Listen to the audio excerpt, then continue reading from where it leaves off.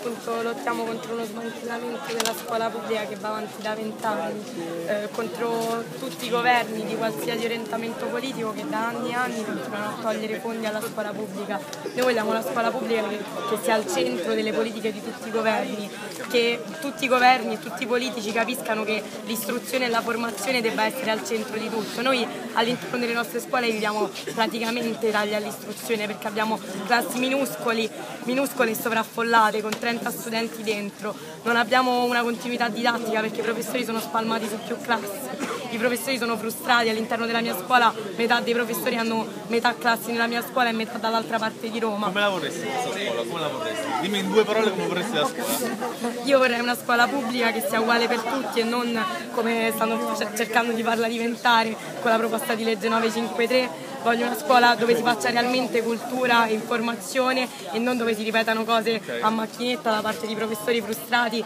eh, dei quali, cioè, ai quali non viene riconosciuto il loro ruolo e la loro importanza all'interno Senti, della scuola. Casa, è molto difficile di Lo so, lo so, ascoltami, in casa la crisi si sente, il fatto che ci sia crisi per tutti, no? e quindi anche questo incida poi sulla scuola, si sente la crisi? Certo.